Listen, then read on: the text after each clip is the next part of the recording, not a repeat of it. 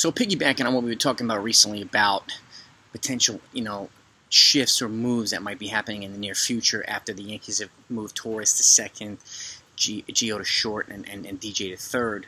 I wanted to just follow up on the last video that we talked about and and uh, you know what we talked about in the live discussion as well because we've gotten a lot of different perspectives, a lot of different insights, and they're all welcome.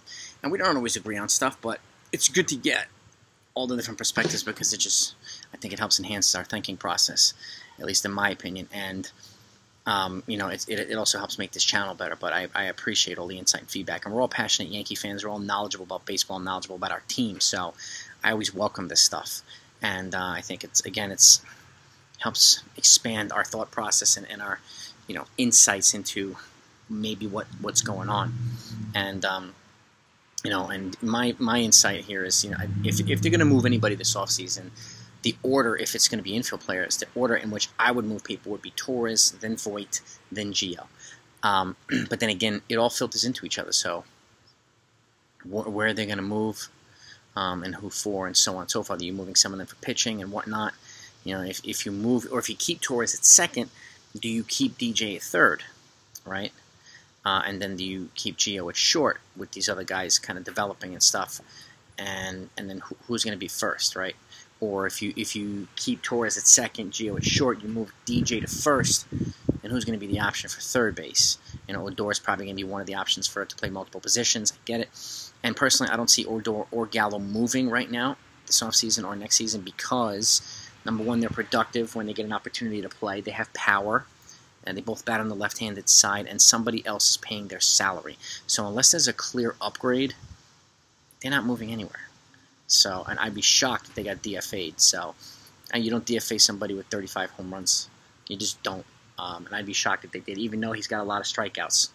He still doesn't have the. I mean, you know, Aaron Judge and and Stanton have, strike, have struck out more than 200 times in a season each. So, yes, he strikes out a lot, and I do think a year past, you know, the trade, uh, the acquisition, and having a full year at Yankee Stadium and 81 games there and a full year with the Yankees team with that lineup, I think he'll play better next year. I think he'll strike out less, he'll hit better, and he'll still have his elite defense in the outfield. So, you know, Odor brings it brings an energy to the team that it didn't have for a while. So I, I, I don't see him going anywhere either. And he doesn't he doesn't have the sexiest stats, but he's clutch. He carried he carried the team quite a few times this year, and I think that needs to be recognized. So, um, or at least I, I like to recognize it. And also, can you imagine getting into a brawl with the Yankees? Gallo, Judge, Stanton, Odor, Street Fighter, like it'd be the worst, the worst idea for any team. I thought, I mean, the Mets would have got clobbered the other day if they had. T- it must be nuts. But um, anyway, back to this. It's it's it's really interesting to see, and and I've gone into a little bit of detail already.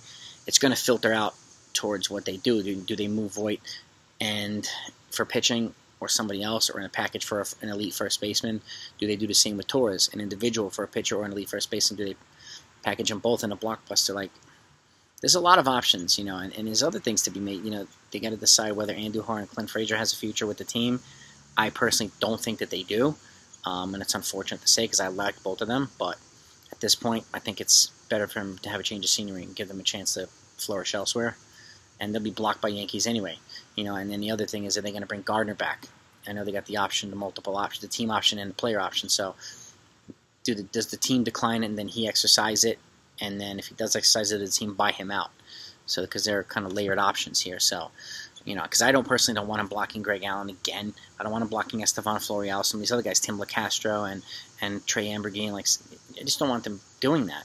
Him doing that. I like Brett Gardner. He's been a 15 year Yankee, but He's 39, and it's it's time to get younger and more athletic and more versatile. And even though he's had a strong second half of this year, um, I don't want to go down that road again, or I just hope I don't want the Yankees go down a road again where they hold on to legacy players for too long, and then you know they like, just to sign up for one more year, and then he starts this massive decline, and then they wind up releasing him mid-season, and you know, and the Yankees miss out on an opportunity to get somebody. So I, I, I don't think that's a good idea. So but I'd still give him a Brett Gardner day and thank him for everything he's contributed to the team and, and call it a day and move on from there.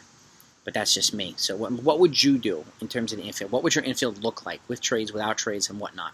Um, what order would you trade? How many of them would you trade? Who would you trade them for? Who would you want to get back? Uh, I obviously think the Yankees need to invest in pitching, starting and relief, There's no doubt about that. And they need to shake things up in the lineup. They need to get more athletic and more kind of fundamental baseballish and more contact hitting oriented. So there's a number of things that they need to do. Um, but again, I don't want them to, you know, get a Correa or, or a Corey Seager and then and then figure out what to do with everybody else because they they completely lose all the leverage if they do that. Because then teams know, you know, they can the Yankees have their shortstop and they're not going to get anything from trading these guys. So um, I wouldn't do that. I would be very methodical with, with what they do and make moves, and make them fast, be aggressive, make them faster than other teams, be earlier than other teams for once instead of teams being earlier than the Yankees. So um, I think it's going to be an interesting offseason, but I wanted to kind of further elaborate as to you know why I'm doing what I'm doing, why I'm thinking what I'm thinking. You know, Torres has more trade value than Voit does, and um, and. And Gio's a little bit older; he's 28, I think, and Voit's turning 30. Torres is 24. Torres and Voit have three more years of team control, and Gio's got two.